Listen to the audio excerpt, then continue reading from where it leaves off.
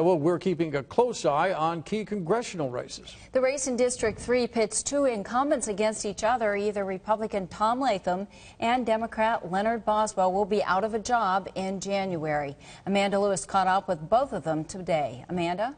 And we have one at each of our sites. Less than 24 hours before the election, Congressman Tom Latham is still listening.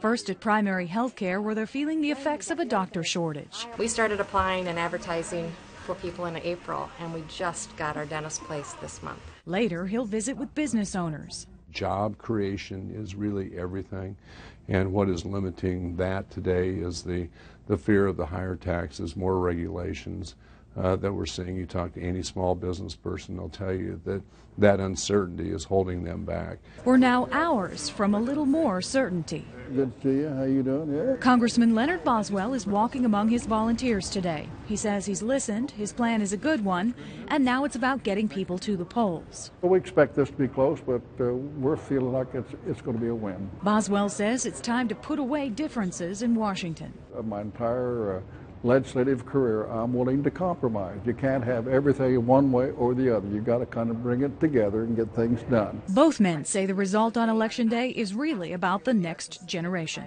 We have got to move things forward. We really have to move forward to get some certainty, uh, to have, have, an opportunity.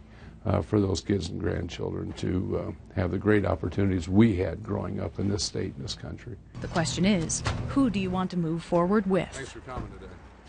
Both men say they haven't really thought about what they would do next if they lose tomorrow. Congressman, uh, uh, I'm sorry, Congressman Latham uh, says he's taking some of these uh, attacks in stride with some of the campaign ads that have been out. Uh, but he says the ads are really hard on his family. And Congressman Boswell said you never really get used to those kinds of ads. He says the super PACs have really hurt the election process this time around. Boy, it has been a particularly nasty race, hasn't it? Thanks, Amanda. You bet.